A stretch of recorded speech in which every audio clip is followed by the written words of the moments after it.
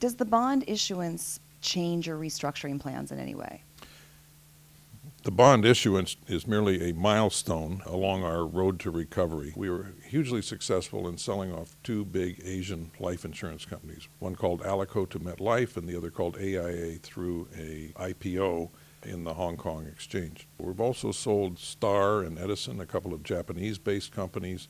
We're well down the road on selling a Taiwan-based uh, company called Nanshan. We have, in the last few days, sold American General. That removes $20 billion of liabilities from our balance sheet. It's a great company, but it'll have its future somewhere else. But I would say we're 80% of the way through our, you know, reconfiguring the company through these asset sales.